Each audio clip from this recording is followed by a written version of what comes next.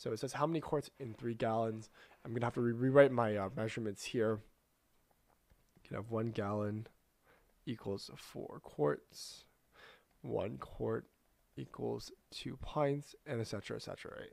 But we won't really care about that. We only care about this first one here, right? We care about this guy here. One gallon equals four quarts. So it's asking us how many quarts in three gallons, right? So let me write this this down. So if three gallons, okay, I'm going to use this concept of dimensional analysis, right? I have three gallons here equals I have four quarts in one gallon. I have four quarts.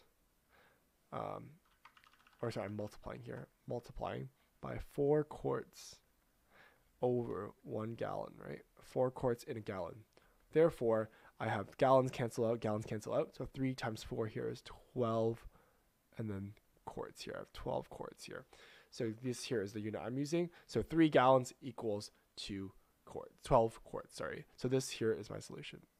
12 quarts is my solution here. And as you can see, 1 gallon equals 4 quarts, which means 3 gallons. I'm multiplying both sides by 3 to get 12 quarts. So the solution here is correct.